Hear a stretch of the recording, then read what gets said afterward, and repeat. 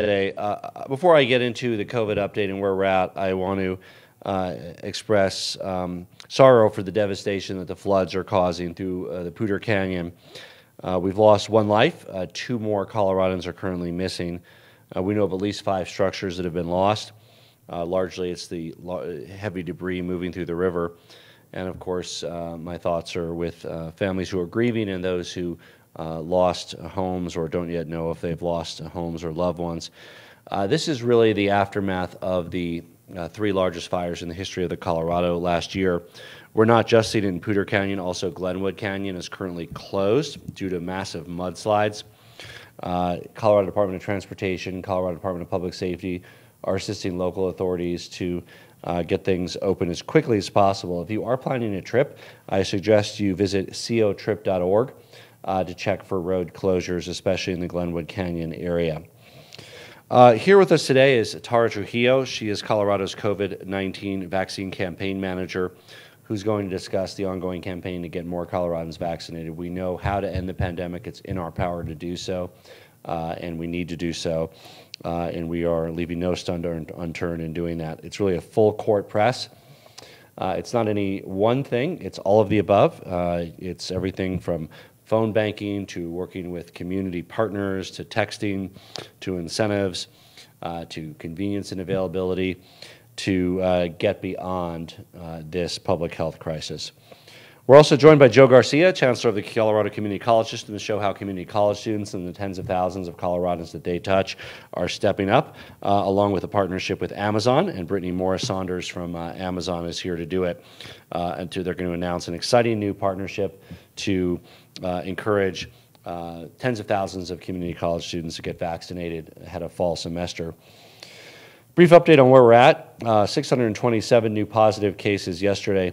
Um, as we have been, you know, for, for some time, um, we really don't focus as much on positive cases as we did. And, and, and this is something many months ago we started because we talked about it's very different of a positive case of somebody who's 25, somebody who's 65. But now, even more so, it's very different of a positive case of somebody who's vaccinated, who's not vaccinated. Um, in fact, uh, from January through June 30th, and we'll have more um, we're only a few weeks past that, but that's basically the six month period. 95.7% of hospitalizations in Colorado were people that were not vaccinated. So I'll say that again from January through the end of June, 95.7% of hospitalizations were people that were not fully vaccinated. Uh, and this is at a time when now we're close to 70% vaccinated, uh, and yet the vast majority of hospitalizations and of deaths, about 95% of deaths, were also people who weren't vaccinated during that time frame. Vast majority hospitalizations and deaths are those who are unvaccinated. Now, it's uh, when you look at the cases, it's it's you're going to see more cases among the unvaccinated. What you're finding is that uh, those cases are not as significant. Um, the um, Pfizer, Moderna, Johnson Johnson, they're, they're proving out as to, to function as advertised. They're somewhere in the 90 to 95 percent uh, effective rate at preventing a case or infection, uh, but even more effective at preventing hospitalizations and deaths in really in that upper range, closer to 95, 96 percent. Uh, so we have the tool to uh, end the pandemic to save lives. I encourage everybody to do it. We currently have 298 hospitalizations. It's been relatively steady the last few weeks, bumped up a little bit, came down a little bit, but um, we're at about 298 hospitalizations. So the family members of those who are currently hospitalized from COVID in Colorado. Uh, we know that uh, we are cheering for each and every patient, including the 50 that were successfully discharged in the last 24 hours. Uh, the Percentage positivity rate, uh, seven day average is 3.7%, is 3.8% today. It was high the last two days. I think it was above 5%, largely due to reductions in the number of people being tested, not, not necessarily just more cases.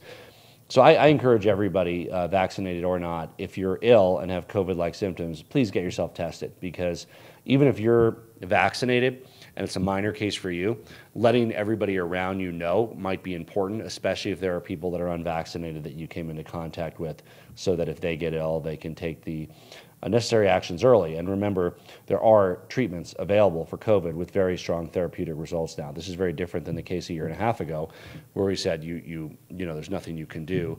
Uh, steroid treatments, um, plasma, many other treatments that have a uh, really significant increase in your odds of of making it home successfully and healthy.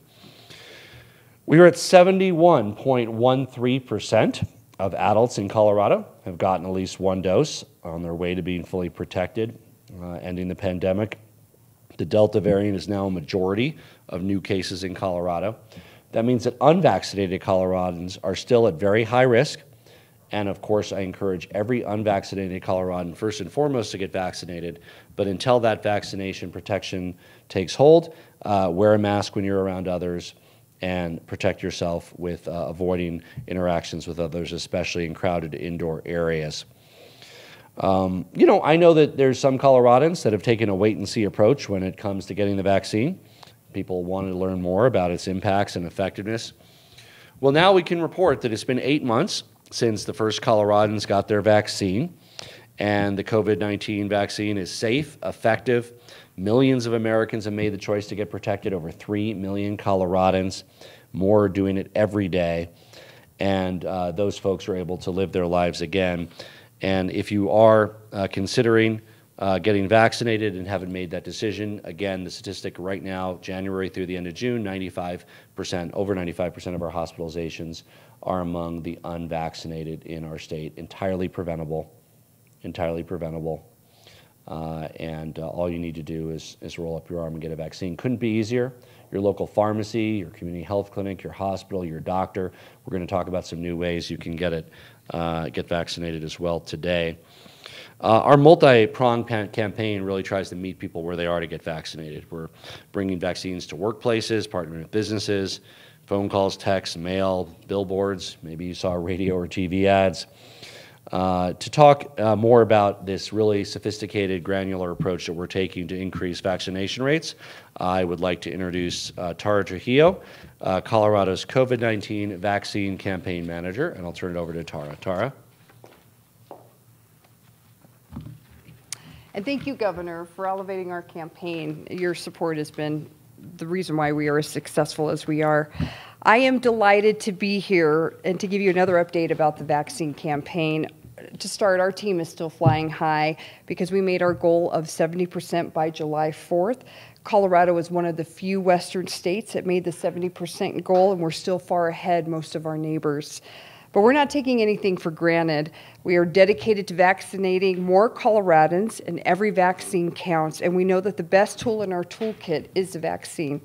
Our team's working to reach people where they are, and we're offering as much convenience, access, and information as possible. Our goal is to remove any remaining barriers to the vaccination. We vaccinated almost 69% of the population. That would be slide two. Um, ages 12 and up. The average pace of daily vaccinations right now is three to 4,000 people a day. For slide three, our team is working around the clock to ensure Coloradans' questions are addressed and answered. We've made more than 2.3 million outbound calls, and we've had meaningful conversations with more than 39,000 Coloradans. Since the start of the campaign in June, we've sent more than 918,000 text messages, both in English and Spanish when appropriate. For our next round of text messages, we'll send 30,000 texts in Spanish. In addition, we have an interactive chatbot on our website and two way texting in multiple languages that can answer all of Colorado's questions. You can now put your zip code in that box, it'll give you a list of all the vaccination sites closest to you. We know not that not everyone's online, and we understand that not everyone has a smartphone. We don't want anyone to be left behind. Our goal is to ensure that everyone has the information they need to get vaccinated. During our push to get 70% of adults vaccinated in Colorado, we sent three direct mail pieces to 1.4 million households each time. The federal government has provided each state resources to do outreach and marketing to increase vaccination rates, and we've been maximizing those dollars to the best of our ability. For slide four, we launched our Power the Comeback campaign in April. The statewide vaccine campaign is helping to build vaccine confidence and make it easier for Coloradans to find vaccine sites closest to them. It seeks to meet Coloradans where they are, and we're using layered tactics to do so. This includes television ads on 16 different English and Spanish language channels, totaling nearly 67 million impressions between early May and the end of June. For slide six, we have ads in 26 mainstream radio stations, 10 in Spanish outlets. One station, KETO AM and FM, targets refugees who speak several different languages. For slide seven, we're also running in game on Snapchat, TikTok, Instagram, Facebook, and YouTube. But we know that not everyone is online, which is why we're also running a robust ad campaign in print. It includes a total of 28 newspapers with a focus on rural and Spanish language outlets. We're also targeting traditional and non traditional out of home advertising like billboards, lunch trucks, and signs in community grocery stores. And for all of our communications and campaign tactics, we're using vaccine administration data to plan, and we're using our investments where they're needed the most. We're also working closely with a trusted network of influencers to help spread accurate information about the COVID 19 vaccine. These are people from various sectors and industries who engage their communities. Peer to peer communication is an important way for us to reach Coloradans that aren't watching these press conferences. For misinformation, it is imperative that we are providing accurate information to Coloradans so they can make an informed decision for themselves and their families.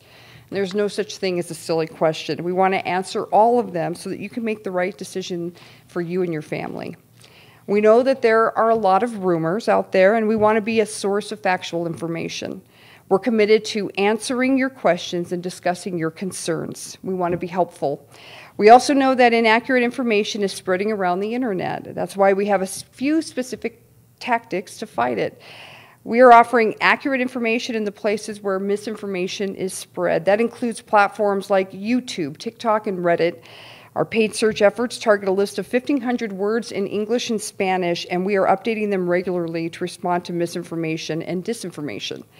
We're using messengers and messages that resonate with Coloradans. And we've been ahead of the curve on this nationally. Since March, CDPHE has been working with misinformation and disinformation experts that track rumors and misinformation in Colorado, make recommendations on how to respond. At this point in our statewide vaccination efforts, we know we must keep trying to reach people where they are. We're partnering with businesses and organizations on our workplace vaccination program to provide vaccine clinics on work sites. Employers can enroll at atworkvaccinations.com. For mobile clinics, we're bringing the vaccine to Coloradans. We have nine buses that travel to traditionally underrepresented communities to make sure that everyone has access to a vaccine. And we're very proud that we, our buses have provided more than 21,000 doses at 570 stops. And of course, we are still working hard to reach the communities that have been hit the hardest by this pandemic. It's hard work, but it's worth it, and we know we have more work to do. Through the state's equity clinics, more than 450,000 doses of the vaccine have been administered at more than 16,000 clinics hosted with community partners. We are so excited to say that more than 3.4 million Coloradans have been vaccinated with at least one dose. This work continues to be important to Colorado's recovery. Thank you, Governor, for all that you and your staff at the Colorado Department of Health and Environment have been doing for the last years, two years to keep Colorado safe. Uh, you know, and it's, it's going to be harder to get to from 70 to 80 percent than it was to get from zero to 70 percent. But we are ready for the hard work, uh, and we are hard at work to get it done. Every Coloradan that gets protected increases your protection from the pandemic as well. Uh, and remember, there's uh, all of our research shows there are 10 to 15 percent uh, of Coloradans that aren't, don't plan to get the vaccine. Uh, it's not about changing their minds. There's just a big gap between the 71% who have it, let's call it 85% uh, where you might top out with people who don't want it.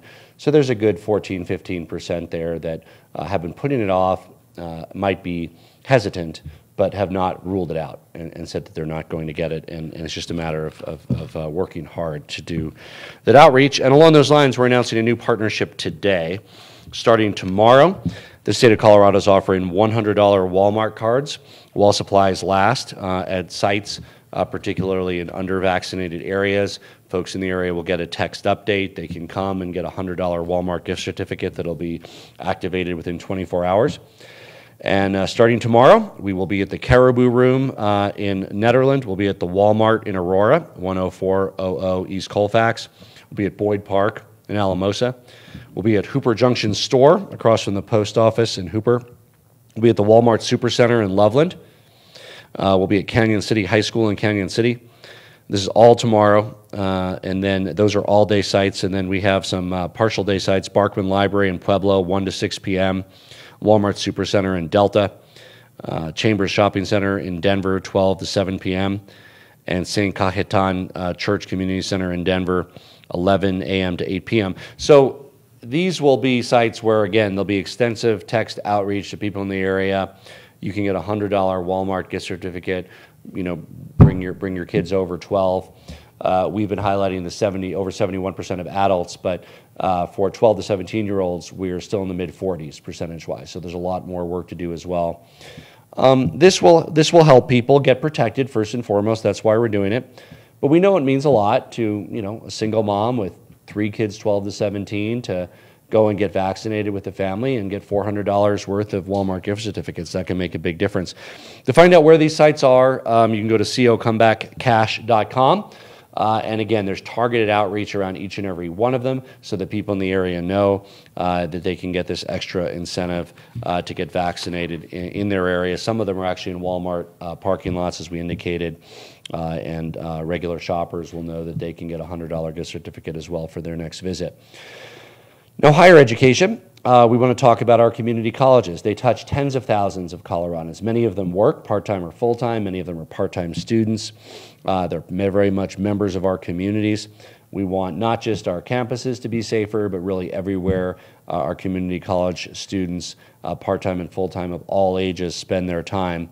And I'm excited to introduce a new partnership between our community college system and Amazon. And with that, I will introduce the Chancellor of Colorado's community college system, Joe Garcia. Thank you, Governor.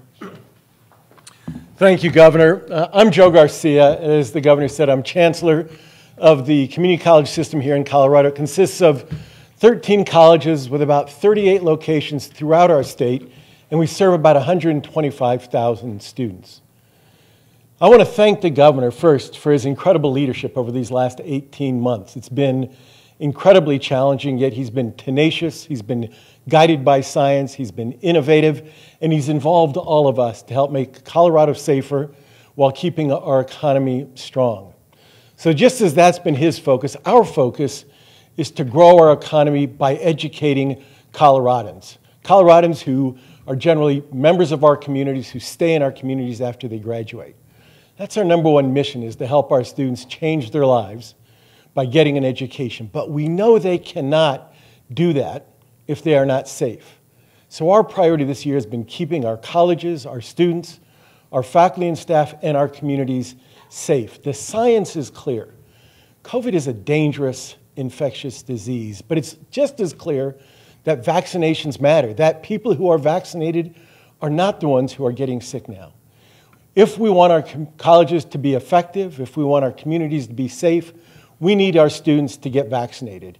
And so we're very excited to be part of a program with Amazon to create more incentives for our students to get a vaccination. Now, in the past, we've provided testing at our campuses, we've provided vaccination clinics on our campuses, we've done other things to strongly encourage our faculty, staff, and students to get vaccinated. With Amazon's help, though, we're now going to be able to offer 67 scholarships to our students. They're going to give us $75,000. And with that $75,000, we're going to be able to offer at each of our 13 colleges five $1,000 scholarships. And then system wide, we're going to pick two students, and they will each receive a $5,000 scholarship. That is a full scholarship given our low tuition rates. That is going to make a difference. That is going to allow our students to be safe. It's going to allow our students to return to the campuses. It's going to allow them to get the education that they so desperately want, and it will allow them to improve their lives. So, again, thank you, Governor, for your leadership. And I'd like to now introduce Brittany Morris Saunders, who's head of external affairs for Amazon. It is Amazon again who has provided this gift to our Community Colleges Foundation. I urge students to go to our website, go to the foundation website or any of the websites for our colleges, and look for Shot at a Scholarship. That's the name of the program. It'll give you an opportunity to get that vaccine shot and have the opportunity to get the cost of your education covered. Brittany? Thank you, Chancellor Garcia. Hello, everyone. I'm Brittany Morris Saunders, the head of external affairs for Amazon here in Denver. Amazon is proud of our presence across Colorado. Everywhere we operate, we strive not to just be a good employer, but to be a good neighbor. Since the outset of the pandemic, we've been committed to protecting the health and well being of our communities and our employees by ensuring they have access to COVID 19 education, testing, vaccinations through sites across the country, including in our own facilities. Our 16,500 employees live and work here in Denver. My family lives here in Denver and throughout Colorado. So we are deeply invested in ensuring our neighbors stay safe. As colleges and universities reopen nationwide, campuses serve as a natural access point for vaccinations. The Colorado Community College System is an anchor in our higher education network and deeply rooted across the state. With 13 campus locations, coupling with the statewide push for vaccinations with a chance to win a scholarship is a natural fit for Amazon. We are so excited to partner with CCCS for this program. This initiative will offer, as Joe mentioned, 67 students an opportunity to offset the cost of higher education, including two full tuition scholarships. And for others, it will provide additional incentive needed to close our vaccination gap in Colorado and to protect themselves and their families by getting vaccinated. I'd like to thank Governor Polis for the opportunity to announce our program today and to Chancellor Garcia and the entire um, CCC, CCCS team um, for bringing this program to life. Ensuring the health and safety of our customers and our employees remains the top priority for Amazon. We encourage all students to get their shots, protect themselves and their families, and take a shot at a scholarship. Thank you. So, you know, we're making the general public aware of these efforts, but generally these are used in a very targeted way. So, community college students will find out about Shot at a Scholarship. People who live near one of the Walmarts or centers with $100 gift certificates are being about will be notified via text and and uh, and they have the opportunity to do that. For any Coloradan who uh, wants to know where they can get vaccinated, go to covid19.colorado.gov slash vaccine. That's for more information on where you can get one. It's very convenient. I also want to emphasize it's free. No one checks your ID. Uh, it is confidential and uh, it is very easy to do. And uh, I encourage everybody to uh, help Colorado end this pandemic. Most importantly, protect yourself and your loved ones. With that, happy to take some questions. Sure, Governor. Uh, I heard from CDPHE today there are about 350,000 doses of vaccine in the state stockpile um, spread throughout the state that could expire in the next two months. Is there a plan uh, the state has to get those doses to somewhere where they might be used if they aren't used? Uh, and, and, have you stopped ordering vaccine at this point? So uh, roughly uh, 200,000 of those doses, and we'll get you the exact number, are uh, second doses for people that receive their first dose. Uh, I expect that they will be used in relatively high numbers, in the 90s uh, percentage is. The, the first dose, um, so that's roughly you know, we'll, we'll get you the exact numbers, Steve, but, but the ones that are second doses, we have a very high degree of confidence will be used. We've been seeing between a 95 and a 99 percent uh, second dose uptake rate. The ones that are not second doses, uh, we want to get out as first doses. Uh, there's a couple things that could happen with them. Uh, one is uh, we are always hopeful that the FDA will verify that in fact they last longer than originally indicated on the label. They have done that with Johnson and Johnson, uh, and and those that that that could happen. In which case, you know, they they don't know this until they can test whether they're active, and then they will say, okay, these are good through October or whatever it is. The other thing we can do is we can give them back to the federal government where they have a program where they donate them overseas. Um, so, and we would, we, would do, we would have to do that a few weeks before they expired. So first and foremost, we'd like to use them. That hopefully all this will work and, and they will get into arms. Again, keep in mind that many of them are second doses, but we hope that the first doses are uh, uh, usable. Uh, there have not been significant orders the last couple of weeks. Um, it's possible there were some of, of one or the other, largely to have the second doses on hand. We have enough confidence in the federal supply that we no longer need to have uh, a stockpile building approach to this. So we're happy to get you those numbers. Um, I believe they are uh, small to, to none orders for the last two weeks. Uh, we have confidence that when we do need it again, and it's likely we will when a couple things happen. One is when it is approved for 6 to 11 year olds, uh, and that is not imminent, uh, is our understanding. It's likely late fall, could be early winter. The other is when uh, the Pfizer vaccine gets the uh, final approval rather than the provisional approval. We expect that there is a jump in that. A number of organizations have tied in requirements to that uh, benchmark. So uh, hopefully that answers your question. Did you have a follow up? Does the strategy change in the meantime? When you say that the federal supply is there, does that mean Yeah. you just pull from the federal supply when you need it? That's correct. We, we can request more uh, Pfizer, Moderna, uh, and to a slightly lesser extent Johnson and Johnson. The supply chain is not, but but that's only a small fraction of the number of doses in our state. But yes, the supply chain for Moderna and Pfizer is very strong, and uh, we will, as needed, request new doses, and we will get you the breakdown of that 352,000. Um, I believe it's part of a 19 million number nationally. Uh, and Colorado is roughly, if you do the math, about pro rata in about how many we have relative to other states. Uh, we certainly don't ever want to run out. And so, first and foremost, we will not run out. We want to make sure that everybody who wants to get a vaccine can. That being said, of course, we want to do our part. And if there's other areas of the world that our government can contribute them abroad, we as Coloradans support that. Hi, Kim Posey, Fox 31.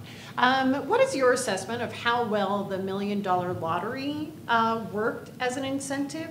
And then also, are- is the state tracking what percentage of the new cases are in vaccinated people?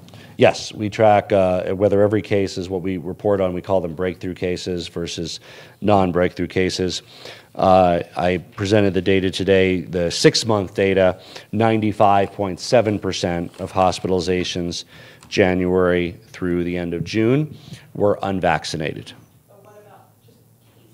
Yeah, that's reported. Um, it's not as important because we, we care about hospitalizations, but it is reported.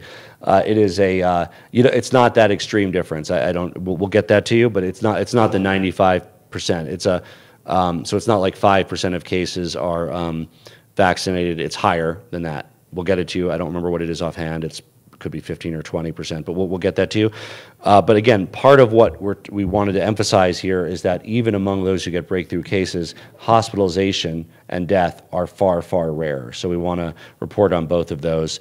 Um, when a vaccinated person gets coronavirus and tests positive, it is not a major health concern. It doesn't mean that nobody ever will be hospitalized, but it is more analogous to the types of pathogens and their, their outcome that we've had in our community for many years because the, the person has immunity against that. Uh, we are doing, as you can tell, uh, really all of the above um, to be able to advance the use of the vaccine. Uh, the uh, drawings that we did were a big part of our strategy that helped Colorado achieve 70% by the 4th of July. We're now uh, over 71%. Uh, and we're continuing with these more targeted micro incentive programs. It's it's part of the overall picture. Um, it's a, the, the bus program, uh, the community outreach and equity program, uh, the, the drawings. Um, if you took away any of those legs of this massive COVID-19 vaccination campaign, uh, we simply wouldn't be where we are today with regard to our protection levels. Governor, question. So, yeah, I'll do my best. Charles Ashby, freshman. Is he- is the phone not working? difficulties. Okay. So I'll read them to you, Governor. Can you Uh, see? Charles Ashby, Grand Junction Sentinel Yeah. Small.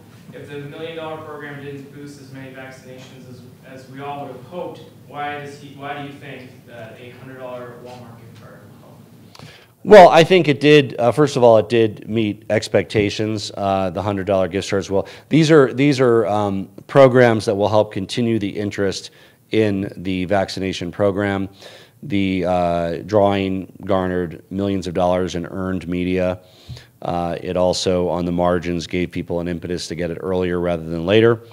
Uh, the hundred dollar gifts again, not not going to change anybody's mind. There's, I don't think there's too many Coloradans who said I was not I was I was not going to get vaccinated, but to have a chance at winning a million or to get a hundred bucks at Walmart, I will. But what you will find is there are uh, that 10 to 15 percent, and, and earlier in the contest it was probably more like 20 plus percent. Uh, now they've gotten it. Some of them folks who would say, "Yeah, I'll probably get it someday." Not tomorrow, not next week. I don't want to be sore. I want more people to get it. Just whatever excuses people make. That's who this is geared after. Uh, it drives people for immediacy to be part of a contest. Uh, it drives people to pick up a hundred bucks if they're at Walmart. They may not even go to Walmart uh, thinking that they're going to get vaccinated, but then when they see it in the parking lot and they realize they can get a hundred bucks, they'll say, "Well, I was probably going to do it at some point anyway." why not do it now and get 100 bucks? So um, yeah, you know, these are all part of Colorado's success in it reaching over 71% of Coloradans with the first vaccine. We know it's lower in Mesa County. Uh, we are targeting, one of the buses is exclusively in Mesa County. And uh, we will also be, uh, as we indicated, in Delta at the Walmart Supercenter. And uh, we will be at sites in uh, Mesa County uh, announcing them very soon with $100 giveaways. Governor, uh, you talked about influencers. Are there any influencers in Colorado you'd like to hear from that you think could be influential? And also some of the national figures we heard Yeah. just this week, uh, some Fox News figures were talking in a positive way about vaccines in a way we haven't heard before. Could that make a difference? Yeah, I think that's great. Um, I, I've, I've, uh, it's really wonderful to hear uh, uh, Geraldo Rivera speak out, other uh, Fox News hosts, uh, uh, really folks across all, all respected voices in society, um, especially people who people turn to for news and information, speak out about the importance of, of getting vaccinated. I think that that helps a lot. I certainly encourage those with a public following, with a soapbox, uh, to speak out. Um, you know, that's that's um, generally trusted sources. So uh, that includes doctors reaching out to your patients, pediatricians reaching out to your your patients and telling the importance of this. Um, those who are in media and the news, scientists. Uh, I think those are the most trusted authorities, and I think that that absolutely helps move move the ball. Any, are there any new coronavirus restrictions being considered by the state given the staggering vaccination rates and the increase of the Delta variant?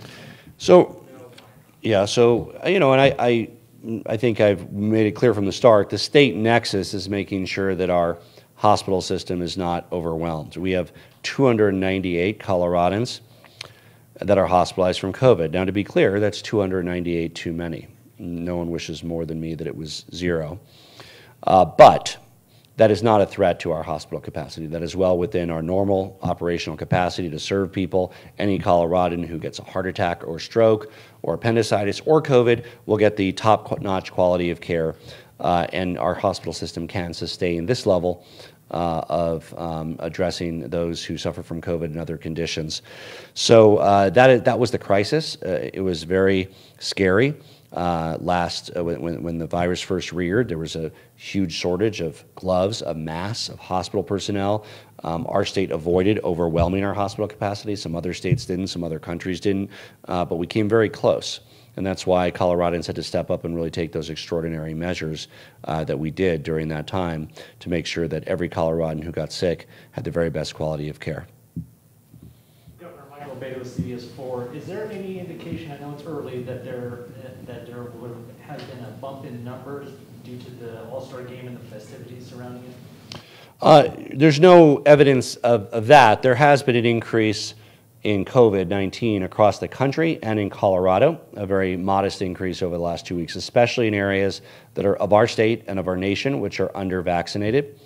Uh, that has not been as pronounced in the Denver metro area, which is a higher vaccination rate. Uh, it has been uh, larger in percentage increases in western Colorado, in parts of rural Colorado with lower vaccination rates. So uh, there's no evidence that I've seen about that particular event, uh, but I would say that the country and the state have seen a modest increase uh, in, um, in, in COVID uh, transmission over the last two weeks. State Republicans and businesses across northern Colorado have asked Governor Polis to end the federal unemployment benefits providing unemployed people $300. Will uh, Colorado join the list of states ending the benefits? If not, what are other ways the state can help more people get back to work? Oh, who's the question from, did you say? Gabrielle Franklin with Fox 31. Oh, hey, Gabrielle, how are you? Um, so I wish that we could use the money for something else, but this is six to eight hundred million dollars uh, that the federal government is pumping into Colorado. Uh, we are doing other things. In fact, our uh, Back to Work Jumpstart program helped uh, 18,000 Coloradans returned to the workplace. They got $1,600 one-time bonuses, $1,200 one-time bonuses. Um, this current money is only here for another month, but if we cut it off, it would be less money for our retail businesses, for our stores. Uh, there is no other way we're allowed to spend it. It is, if you will, uh, free money from the federal government. I think that uh, writing a check back to them and returning it would be very short-sighted economically for our state. Uh, if I was the federal government, I would, would try to find a better way to invest that money uh, than just a, a, UI plus up, but that's what was in the law. And yes, we want that money coming to Colorado because it's important for our small businesses uh, that people have the ability to go out and eat and shop and enjoy everything that Colorado has to offer. Uh, and that will expire in about a month.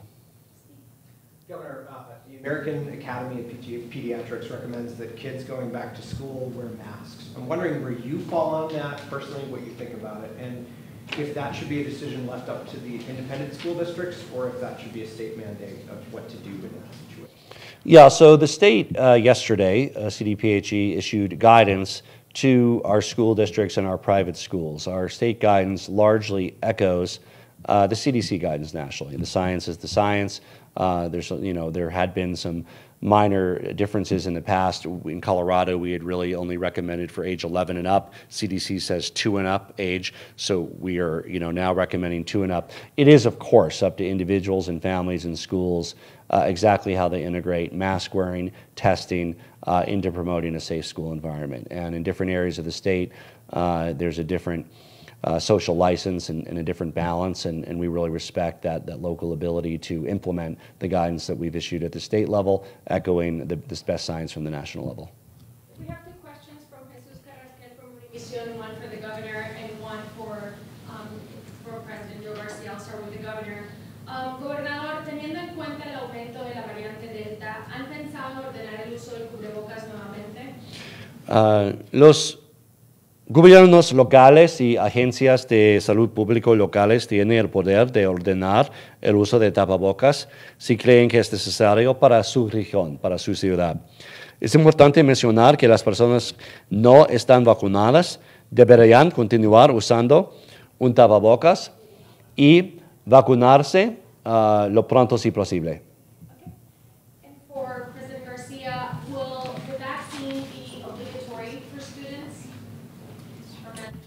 No, the vaccine is not mandatory for our students.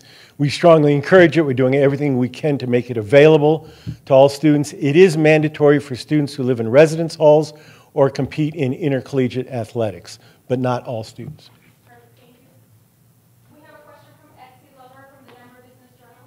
Have any other businesses outside of the healthcare sector stepped up to offer funding like this that is being put uh, to the vaccination We'll have to get back to Ed. I don't, I don't have the answer. I, we'll, we'll be happy to prepare that. But we, I, I would say that many businesses have offered in-kind support for the vaccination effort, meaning they've opened up their facilities, their parking lots. We, we send the buses in the unit, but they've, they've sort of done, oh, paid, day paid days off. Many, many companies have done paid days off for people getting vaccinated. So I don't know if we keep an inventory of all of it, but we're happy to share some of those uh, stories of things that companies have done that are willing to have their, their names shared. Tara, it, you have, you, want, you, have, any, you have some that are willing um, to do it? In specific, um, Grand Junction Chamber of Commerce has been uh, making direct calls to their businesses to try to get them to offer a vaccine clinics. Several business owners out there, because of the Delta variant, um, and because of their low uh, COVID vaccine rate, um, are offering 250 to $300 to employees to get vaccinated. Um, paid time off and or $100 bonuses. They're also taking time during the workday to talk to every single employee when they do have a vaccine clinic to let them know that they get an hour off um, and that they'll have a bonus in their paycheck. We can get you more details, so, so you can talk to her directly. Yeah, I, I just think before before we know let you know what companies are doing what, we want to make sure the companies are okay with their their their names being shared. But I'm sure Ed there'll be several that are, and and we can connect you to those. Governor, on the unvaccinated uh, deaths and hospitalizations, do you have a sense of what proportion of those are coming from uh, highly unvaccinated parts of the state? Is it driven by those numbers uh, uh, mostly driven by those parts of the state that are unvaccinated? Yeah, it's both. I mean, we, we have the breakdown by county, uh, just with the sheer numbers that we have. While the rates of vaccination are lower uh, in western Colorado and Mesa County, the sheer number of unvaccinated people is much higher in the Denver, Colorado Springs metro area in the Front Range, just, just because, uh, you know, 25% of, of, of the population of the heavily populated areas is greater than, you know, 50% of the population of the, the, the rest, lower populated areas. So, so I mean, it follow, it follows where you'd expect it to be. Um, and we're happy to, again, we put up the county map every week, but it's not, no, absolutely, there are unvaccinated people all over our state that are contracting COVID. It is at a higher rate per capita in some areas of our state, but the absolute numbers are highest where the people are. Um, Hi, just to clarify, Yeah. the students who could be eligible to get these scholarships, will you be looking at all students in your system or just the students who, at this point moving forward, choose to get vaccinated? We'll be looking at all students. So we ask students to apply. They just need to let us know they've been vaccinated and uh, they are, whether they get vaccinated from this point going forward or they're vaccinated in the past, they are eligible. And that's done through targeted outreach to the, uh, to the students. So thank you. Um, Again, we encourage all my fellow Coloradans, if you haven't been protected yet, get protected. The rise of the Delta variant, uh, the increased transmission across the entire country,